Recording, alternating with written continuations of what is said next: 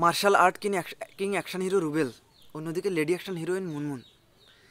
তো অ্যাকশন সিনেমাতে কিন্তু আমরা যেরকম রুবেলের একটা সময় দাপট দেখেছি, তো মুনমুনও কিন্তু লেডি অ্যাকশন ফিল্মে। এদেশে বলা হয় যে সবচেয়ে বেশি রাজ করেছে লেডি অ্যাকশন ফিল্মে তিনি। তো তারা কিন্তু একটা টাইমে জুটিবাদ এবং বেশ কয়েকটা ফিল্মে কিন্তু আমরা তাদেরকে একসঙ্গে স্ক্রিন শেয়ার করে কিন্তু কাজ করতে দেখেছি, অনেকটা জুটি বলা যায়। তো আজকের ভিডিওতে আমি martial art, action hero Rubel এবং লেডি অ্যাকশন হিরোইন মুনমুন তো তাদের একসঙ্গে কাজ করা টোটাল সকল ফিল্মের রিলিজ ডেট নির্মাতার নাম এবং প্রত্যেকটা ফিল্মের বক্স অফিস ভার্ডিক্ট আজকে আমরা আলোচনা করব। তো ভিডিওটি শুরু করার আগে আপনার কাছে ছোট্ট একটা অনুরোধ, আপনি যদি ফিল্ম স্পাই চ্যানেলটিতে নতুন হয়ে থাকেন, তাহলে অবশ্যই সাবস্ক্রাইব করবেন বেল আইকনে ক্লিক করবেন লাইক করবেন শেয়ার করবেন এবং কমেন্টস করে জানিয়ে দেবেন আপনাদের মূল্যবান মতামতটি আমি অপেক্ষা রইলাম। আপনাদের মূল্যবান কমেন্টের।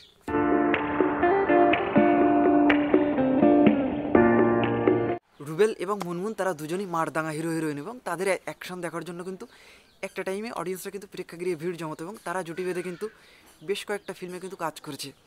এবং তাদের প্রথম কিন্তু রিলিজ পায় একসঙ্গে জুটি হিসেবে কিন্তু নাইনটিন নাইনটি সেভেনে যে ফিল্মের নাম কমল সরকার, পরিচালিত বেইমানের শাস্তি।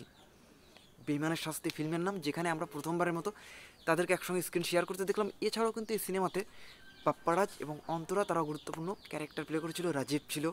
তো দুর্দান্ত একটা কাস্টিংয়ের ফিল্ম ছিল এবং এই সিনেমাটা কিন্তু বক্স অফিসে হিট ছিল।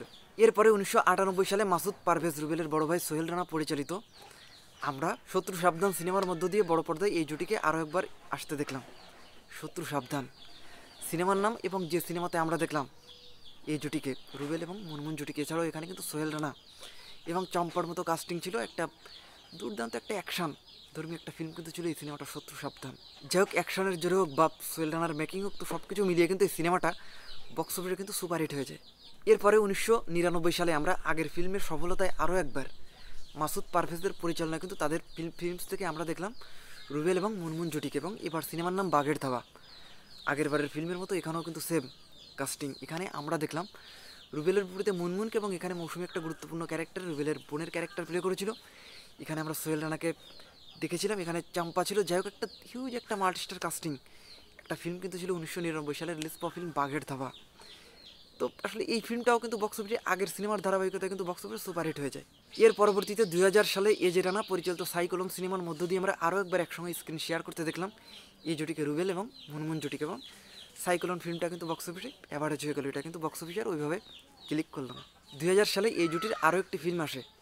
এটা হচ্ছে আর এন খান পরিচালিত ফিল্ম ওরা সোলজার, যেখানে আমরা আরও একবার দেখলাম রুবেল এবং মুনমুন জুটিকে তো ওরা সোলজার।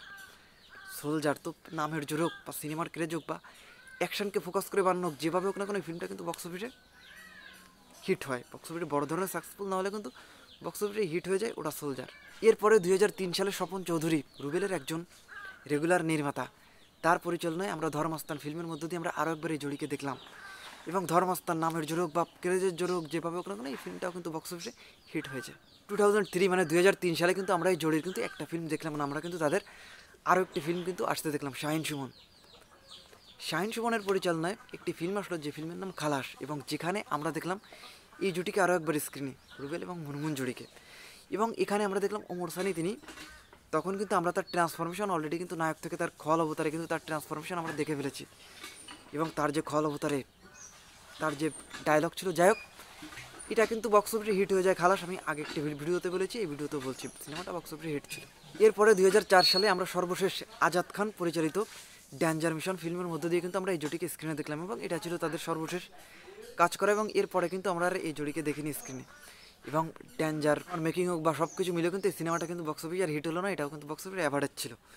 তো এটা হচ্ছে এক্স্যাক্টলি রুবেল এবং মুনমুন জুটির টোটাল আটটা ফিল্মে তারা একসঙ্গে কাজ করেছে এবং এই আটটা ফিল্মের রিলিজ ডেট নির্মাতার নাম এবং বক্স অফিস ভার্ডিক নিয়েছিল আমাদের অথেন্টিক ডাটা প্রোভাইড করা ভিডিওটি। তো ভিডিওটি ভালো লাগলে অবশ্যই লাইক করবেন শেয়ার করবেন এবং কমেন্টস করে জানিয়ে দেবেন আপনাদের মূল্যবান মতামতটি। আমি অপেক্ষা রইলাম আপনাদের মূল্যবান কমেন্টের